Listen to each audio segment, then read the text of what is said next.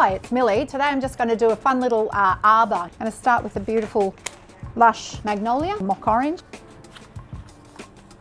I've Got a beautiful little bit of olive.